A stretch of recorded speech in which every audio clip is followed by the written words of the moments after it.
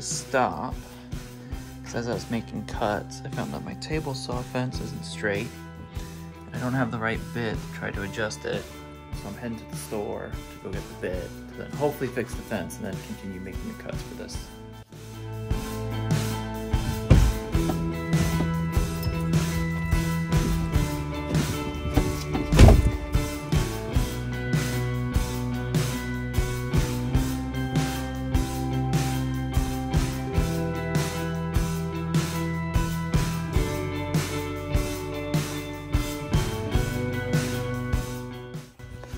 Okay, so that distraction's done.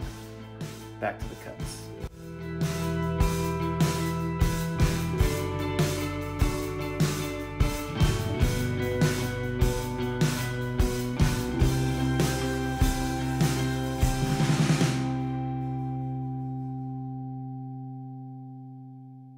Okay, okay. Sometimes I feel like I have a tornado inside of me. You have it inside of you, just sometimes it doesn't move. I sort of bloom late, but I know it's still there. It still twitches, I'm still flinching. I'm hiding in the basement, trying to keep my head down, trying not to get shocked, trying to keep the windows boarded up, trying to find the words that need a home to. And that, that home might be you, while that storm stays eating at the front door of my mind. Out here stranded somewhere between home and where I live, waiting for the sun to peek in like a killer until I can know the coast is clear. If it comes from the sky and it's bad, it must be I can change his mind, so never mind. So I told myself that if I quit moving, I die. So I started it spinning and spinning around.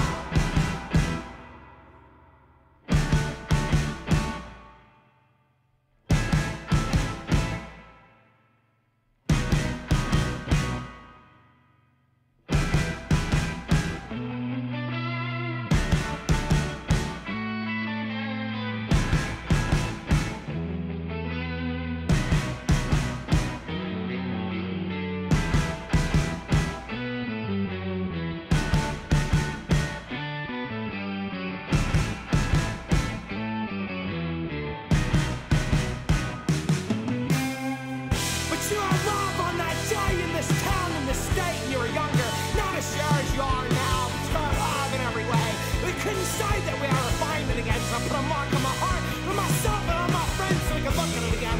Holding up your families, holding up your houses, holding down jobs and tears. Over and over again, people like washers tightening the screws. We were there for each other, didn't leave, didn't give up.